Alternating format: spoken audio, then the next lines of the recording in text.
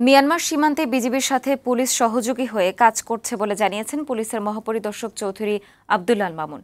দুপুরে চট্টগ্রামের কর্ণফুলী উপজেলার ডাঙ্গারচর নৌ তদন্ত কেন্দ্রের উদ্বোধন শেষে তিনি এই কথা বলেন। এ সময় আইজিপি বলেন, আইন অনুযায়ী বিজিবিকে সহযোগিতা দেবে পুলিশ। এছাড়া পুলিশ হেফাজতে কারও মৃত্যুর ঘটনায় দোষ প্রমাণিত হলে যেই হোক না কেন ছাড় দেওয়া হবে না। পুলিশের পেশাদারিত্বের কারণে দেশের আইনশৃঙ্খলা পরিস্থিতি স্বাভাবিক রয়েছে বলেও জানান তিনি।